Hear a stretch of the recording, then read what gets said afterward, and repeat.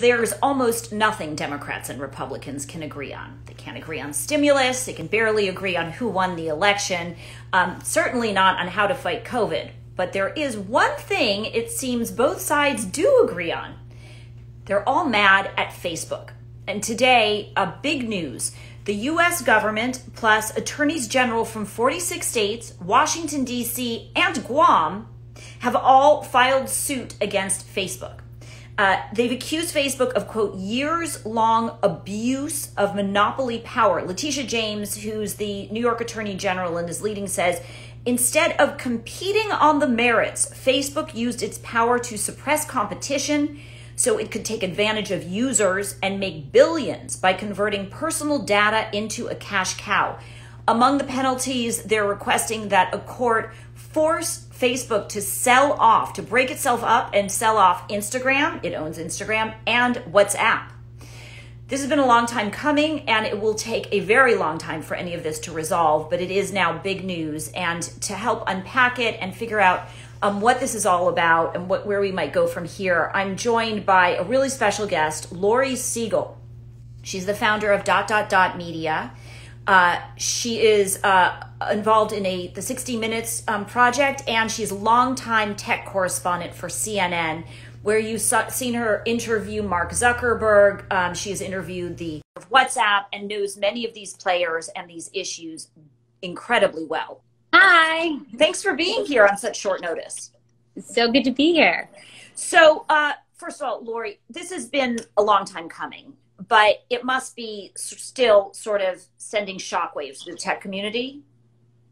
Yeah, I feel like everybody knew this was coming. This has been the thing folks are talking about for so long, and you hear the rumblings of it, and there's been antitrust lawsuits here and there. But I, I think today is a, a, a pretty big deal, and I think there are questions about what will happen after the Trump administration. Um, does this have legs? I think this does have legs. And what will this actually mean? Uh, will we see Facebook broken up? Um, and what will a Facebook look like? What could it look like without Instagram or WhatsApp? And would that actually happen? I mean, I think that's a, a really big question. I put on my skeptical, um, you know, tech reporting hat and say, could they actually do that? Would that actually happen? Facebook has lots of resources. Uh, they would. This would be the fight. Knowing Mark Zuckerberg a little bit, this will be the fight of his life um, to make sure that this does not happen to the company. So let's take it one step at a time. Um, would you sort of set the scene? Explain to us why it is that so many um, law enforcement agencies and uh, attorneys general have combined forces against Facebook. Sure. So I think you know, to like storytell a little bit, but you almost have to go back to when Facebook was going public, and um, it was I, I believe it was in around 2012 and Facebook was going public, and there was this app that was not so so well known at the time called Instagram. Had 13 employees, no revenue, um, wasn't you know there were lots of other photo sharing apps. And right before Facebook went public, and this is when you're not supposed to buy apps, uh, you're supposed to be in your quiet period they ended up buying Instagram. Uh, and a lot of people scratched their heads and said, well, why did they do that? Uh, and at the time, it was because Mark Zuckerberg had the foresight to know that, you know, Facebook wasn't doing so hot in their mobile strategy. Uh, and if you think about it, Facebook at the time was something we looked at on our computers. It wasn't something we looked at on our mobile phones. But Instagram was a mobile first app. And so Mark Zuckerberg at the time thought, well, you know, this, if we don't end up buying something like this, it could be competition right? And so that's kind of planting the seed around, I think, what, if you go all the way back to that period, what we're beginning to talk about now. Well, fast forward all these years later, and then you have two years later, they ended up buying WhatsApp for $22 billion. So if you look at back, we were all scratching our heads. I remember as a startup reporter being like, oh, wow, they bought it for a billion dollars. That's insane. Two years later, they bought WhatsApp for uh, $19 billion. Um, but it ended up that these purchases, this shopping spree that Facebook went on was incredibly influential because Facebook became even more powerful because these companies, Instagram and WhatsApp, that were a part of Facebook, grew exponentially. You know, they became, Instagram arguably became, you know, one of the most powerful social networks and it was now owned by Facebook. So the questions are, eh, you know, started swirling, is this a monopoly? Does Facebook have too much power? And did it did it prevent other companies from competing? Did it prevent other startups from being able to play in this this um, you know this place? And and so I think that's kind of at the heart of this. And then after all of these issues that Facebook has faced, and I think there's a lot of anger towards Facebook over data and privacy, the election. You know, is there bias? So it's all of this. And then you have, I think, now really people paying attention in a way that they weren't before and looking and seeing, you know, does Facebook simply have too much power? And when you look at it, you can go back to some of those purchases and say, well, now these companies are enormous. They're under Facebook. And is it simply too powerful? And do they prevent other, uh, another ecosystem from flourishing? And the argument I hear on that front is well, obviously they do because when an upstart gets enough power, Facebook buys it. Yes. So, I mean, that's exactly right. I remember there was a certain amount of time when I was uh, reporting specifically on startups where it was like, well, you hear from a lot of, I call up a lot of startup founders and it was like, well, don't, you don't want to really do this because Facebook can do that, but better. Or Facebook will crush you. Or, well, Facebook will buy you. You know, and that was kind of, you don't want to compete with Facebook. And so I think we're beginning to hear about that now in a different way. Are there other anti-competitive practices of which they're accused? I mean, there uh, quite a bit. I mean, I think they're looking at. Uh, I I have to look through a lot of the. Um, you know, I, I have to look at. I think it's penalties. Uh, looking at it, it's um, you know what the FTC is saying. Uh, they want prior notice and approval for all future acquisitions. They have quite a bit. Um, that they want. I mean, this is pretty, I would say this is pretty severe in, in what they're asking. I mean, this is not, I, I can tell you um, for a fact that when Facebook's lawyers got this today, this wasn't, uh, this wasn't an easy day. You know, this was definitely a, this is something we have to take seriously, not, you know, this is going to be a fight. Um, I think this was definitely something um, that was more severe than, than lawsuits they've had in the past. So, what do you think their pushback will be? You know, I think their pushback will be, I think there will be, uh, they will, as I said kind of at the beginning of this, I think it'll be, you know, this is the fight. This will be, um, they will 100% fight this. But I think their pushback will be, um, you know, they're too integrated now. It'll be too hard to break up these companies. And if you look and if you read between the lines, base, I think it was back in 2019, they started integrating a lot of these services. Um, you know, between Instagram DM and Facebook Messenger and WhatsApp, they started integrating these services in a way that they hadn't done before. And they'll say that this is for protection too and making everything easier for election integrity. Um, and for you know child predators and all sorts of stuff to have things in one infrastructure which is you know it's a fair argument to be able this is a behemoth of a company to try to take everything uh, into account so I think that will be an argument. And also, you know, you look at China and you don't want to, uh, you want to be competitive against China. They're going to have all sorts of arguments, I think, in this vein. Um, but it is interesting if you look at those moves that they've made. So if you want to get a little bit inside baseball and in the tech space, um, the founders of WhatsApp. So what happened when Facebook acquired WhatsApp and what happened when Facebook acquired Instagram is both of these founders weren't sure they wanted to, to sell to Facebook. Um, and Mark Zuckerberg said something very specifically, which is, I will leave you guys alone and just let your companies operate completely separate from Facebook, right? If when when we purchase you. Well, you have to look, notice none of those founders are at Facebook or at, are, are at the company more. They've all left. In the last couple years, the founders of Instagram have left, the founders of WhatsApp have all left and Facebook is more integrated into Instagram. So if you look and you see there's more kind of shopping experiences, there's different types of experiences on Instagram, and it's more Facebook uh, you can yes, you can but not well integrated. As somebody who's right. all day long on Instagram, I can say these two things are not well integrated. It is such a challenge navigating between them. But yes, right.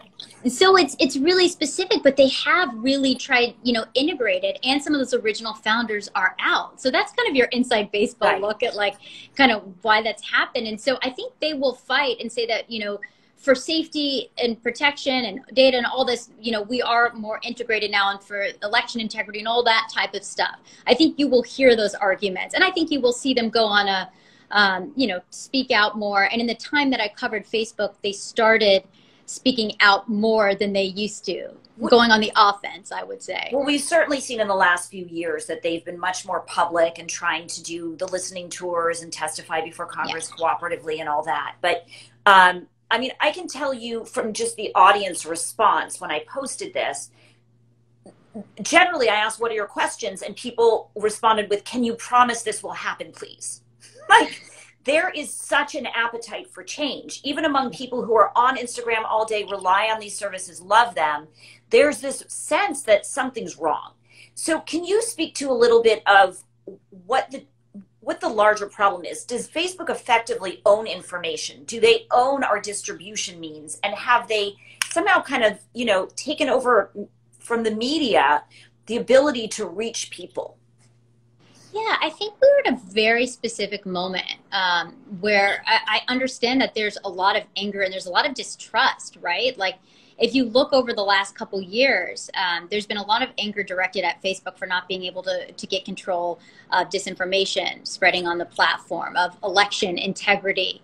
Um, you know, it's of our own data. I mean, I interviewed Zuckerberg during Cambridge Analytica, right? And I remember that was the moment when I sat across from Mark Zuckerberg and said, what went wrong? You know, and I remember looking at him and thinking, you know, this was kind of the moment that all of us, not just the inside baseball tech world, but everybody was collectively pissed off yeah. about what was happening to our data. And I think maybe what's happened is people have a, more of an understanding uh, over what's happening or more of an understanding of how little they know over what's happening. And I think you have um, more popular culture beginning to talk about it, like the social dilemma, right, on Netflix, where, you know, folks are beginning to raise red flags, but people have been raising the red flags for a long time. But I think we're beginning to have, I think, more of a dialogue about it. And I think there is anger that if you wanted to take control back in some capacity, what are you going to do? You can't get off of um, you can't get off of Instagram Eh, or you can't delete Facebook and Instagram because they are such a big part of our lives. Yeah. And they are so deeply personal and compliments to Facebook and Instagram and all these companies, but they are so deeply a part of our lives. But at the same time, these products that were made in Silicon Valley have impacted our democracy. They've impacted our mental health.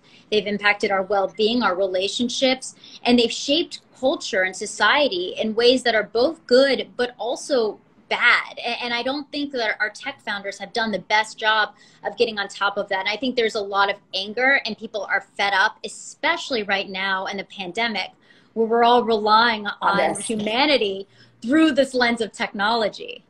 Has the government successfully played police person in the internet landscape before? I mean, I think the government has had a lot of issues. Um, I, Very. I want to say this delicately, but I think that the government has struggled with this thing called the internet. Um, and I think that's, um, this is very difficult. I remember going and being in the, it was when Zuckerberg testified for the first time in Congress. And I remember um, one of the senators saying, you know, to Facebook, uh, this was about potential regulation and saying to, to Zuckerberg, how do you make money? And he said, Senator, like, we sell ads. And it was just like, no, it was, oh my goodness, like how are we going to have these folks regulate when they don't 100% have the understanding? But in all fairness, it's really hard to understand these things when they don't exactly make it transparent, you know, and we seem to learn all these, these big scary things all the time. And so I think the government, I think we need more, and there used to be, especially in Silicon Valley, so much tension between Silicon Valley and Washington. And it was always looked in Silicon Valley, it was always looking at Washington as slow and bureaucratic, and, you know, we just don't even need to bother.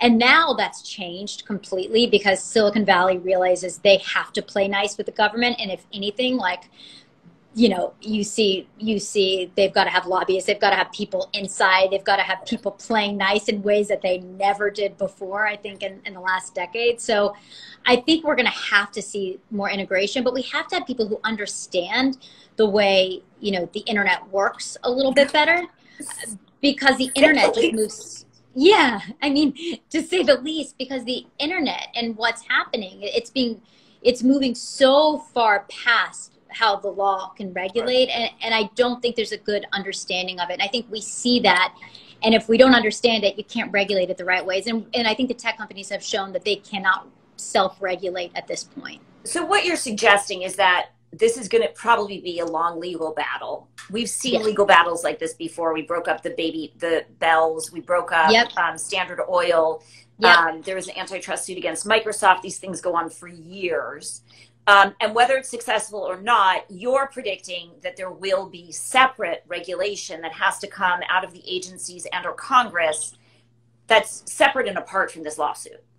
I, I think so. I think that's potentially what will happen. I mean, I think this lawsuit will be painful and long. These lawsuits, this will be painful and long, and there'll be lots of money and lawyering and lots of headlines Good out day for it. the lawyers. You know, it'll be a big payday for the lawyers. There'll be some press around it. You'll see Facebook come out and and say their piece. You know, we're gonna we're gonna see a lot happen over the next couple of years. I think the thing to watch um, will be how what will happen with the Biden administration. Right? I see one of the comments is Elizabeth Warren has been saying this for some time. You know, I know, you know, Facebook is I think.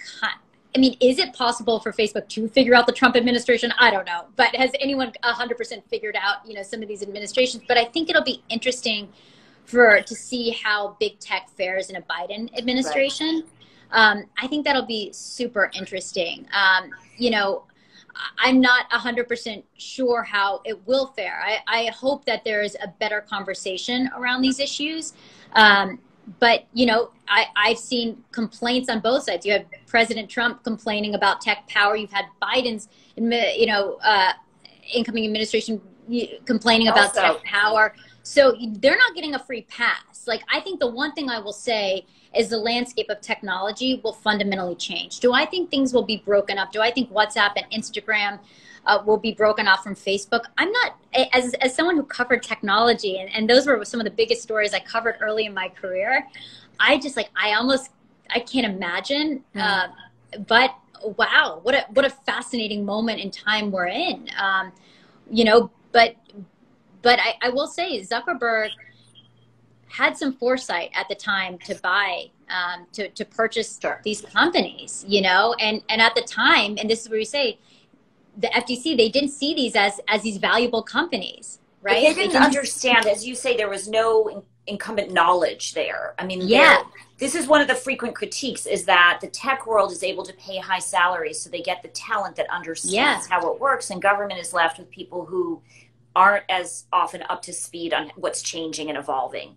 Um, Yeah. One of the one thing I do want to say because I see comments is that the FTC is an independent agency. So when there's a transfer of power, the suit continues. You, Yeah. A new administration may or may not Yep. put as much heft behind it, but there's little reason Yeah. to believe a Biden administration would, would back away necessarily from something like sure that. Um, sure and and I think just in general it'll be interesting to see how they handle uh, all the issues coming along with section 230 with all of the you know with with so many of the issues around technology that are coming up. I mean you don't get me started on issues like qanon and and you know moderation and all of these things but i think there's less patience right now for big tech and some of the issues that they face because we we've seen them now. And i think a new administration will have fresh eyes on it. On it. Um, this comes less than two months after the Justice Department in 11 states sued Google. So who do you think they might come after next? Amazon? like, are there other names on the chopping block? Yeah, I, I mean, I could see them going after Amazon. I think there are lots of questions. Um, you know, I think there are lots of questions when it comes to Amazon. I think Google, it's interesting because I remember one thing that folks said to me after. Um, after Cambridge Analytica, because I covered Cambridge Analytica so closely in the data privacy scandal, right? For folks who, who don't know, it's it was just this um, the data privacy scandal that had all of us wondering what's happening to our, our data on Facebook. I remember one thing a source said to me, which was like, God, the things that potentially Google has gotten away with that people aren't even talking about. So I don't I don't think we're done with Google. I think it'll be very interesting.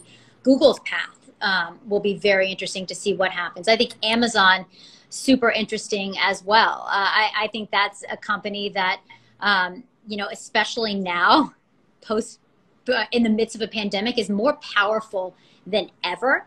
And that deserves some looking into to some degree. So I, you know, I think that the payday for the the, the wild west of big tech is is over to, to Mhm. some degree. I, I think, you know, in the time I covered it, there were all these stages. The first stages were cool, these really cool companies. Then it was growing bigger, bigger, bigger. And then all of a sudden it was tech impact society. And now it's, oh my goodness, what have we done? and how do we how do we reel this in? And how do we make sure everything doesn't just go straight to hell to some degree? I want to ask you a couple audience questions. One is something you touched on. Someone asked, what do you think might happen to all the data Facebook owns if they have to sell component pieces and break it up, break up Instagram and WhatsApp?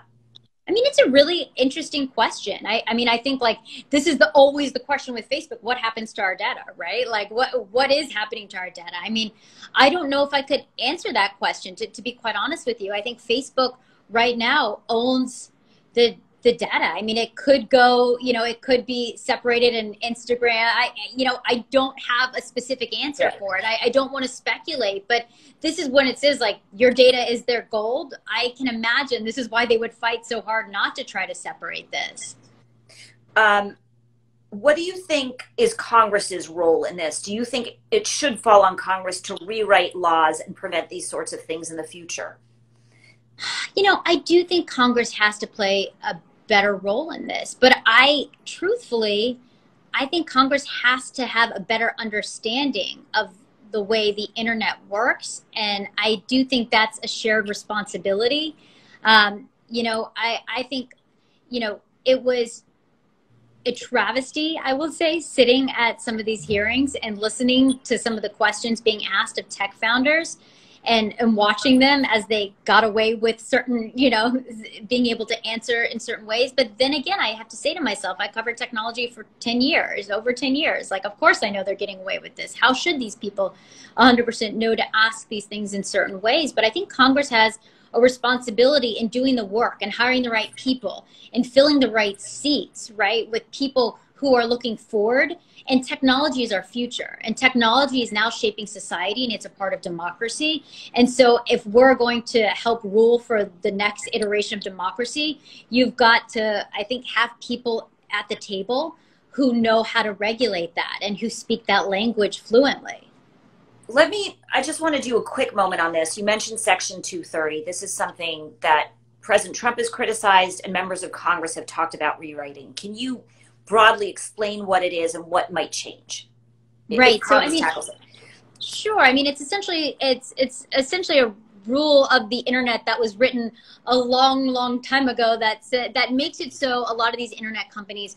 Um, so it makes it so they're not liable for the content on their platforms, right? And this was written I, have to look at the specific date but i believe it was in the 90s right so it was it was a long time ago um, and it's out in, to a degree it's outdated now right? And so there's so many questions over you know does it give just blanket immunity to tech companies to get away with putting you know to having whatever they want on their platforms to some degree? Now of course there's some exceptions like um, child exploitation that kind of content.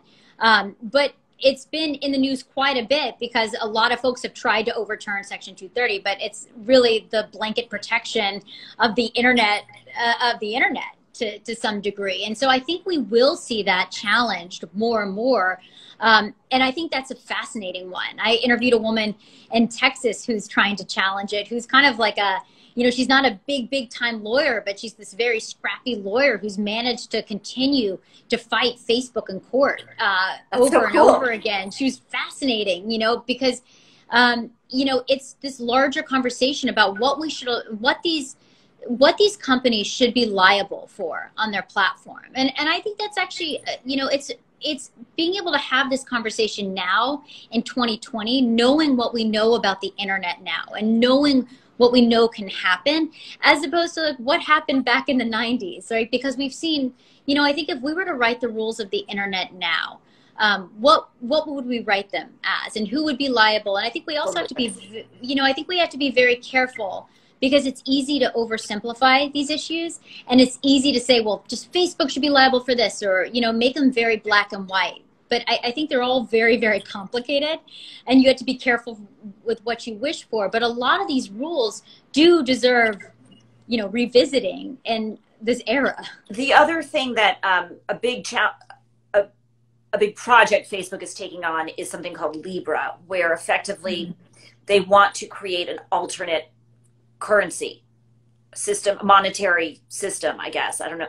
And do you think this lawsuit could put a crimp in those plans or adjust what regulators allow?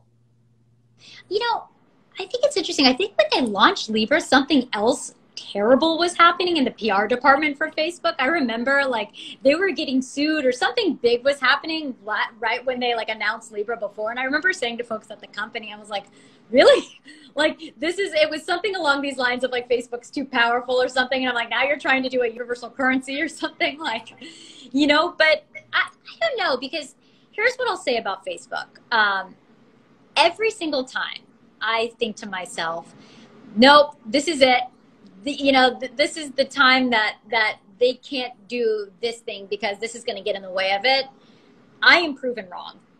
You know, I, I really think I think people underestimate over and over again how powerful mm. this company is. And and I think we are seeing it. This is such a powerful company. Now, will that succeed? It's another, you know, like will this get in the way of it? I don't I'm not sure. Maybe the timing could get in the way here and there with some announcements.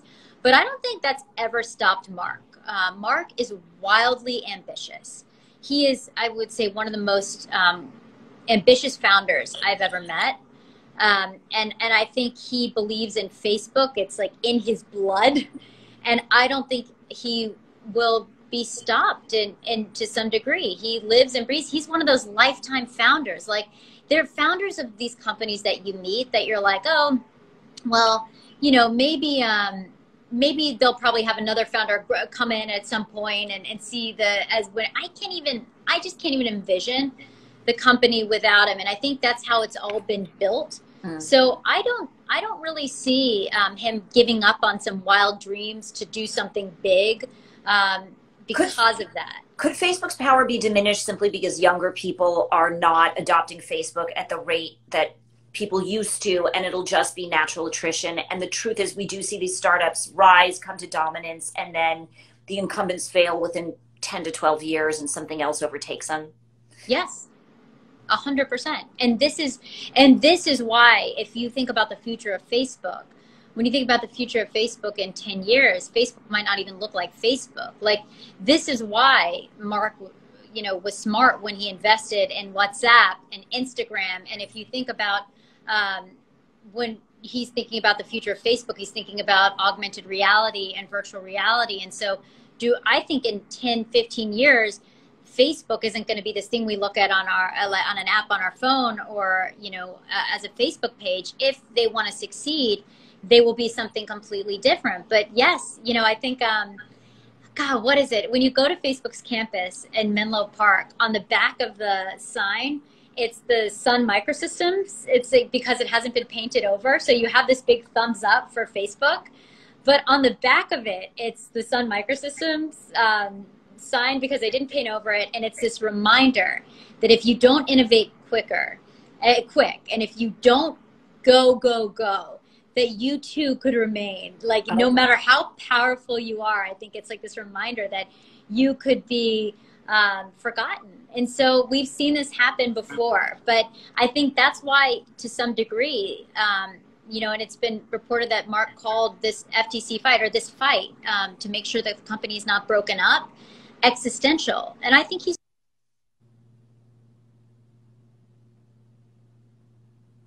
Are you there? That's okay. Had a call from my mom. Yeah. She's like, I see on Instagram. Sorry, mom, I'm live on Oh, well, Instagram. that's a good place to stop anyway. But I want to ask, yeah. where do people follow you? Tell us, like, where they follow you on Instagram. Yeah. Well, I'm on Instagram as long as Instagram's under Facebook, but no matter what, I'll be on Instagram. Um, right. It's at Laurie Segall. Um, and then I'm also on uh, Twitter at Laurie Segall as well. So that's great. And uh, the truth is, I'm so conflicted. Like, I see the problems, but I also yeah. I mean, Instagram's amazing for allowing us this opportunity to do this, and it's you know brings people together and shares information. So it's all very complicated. Yeah, I mean, but that is such that is why we are at as someone who's covered tech all these years. This is such a fascinating moment in time. Like we are at this pivotal point where like who knows what's going to happen in the next five years, but it's going to be a wild ride. I really think it will be. So buckle up. Um, Laurie, so nice to do this. I hope we can do this again and, yes, and, and bring you in to explain some of this stuff because you really know your your brief. Oh. It's a pleasure. Thank you. Okay. Great to be here. Thanks so much. Thank you. Bye.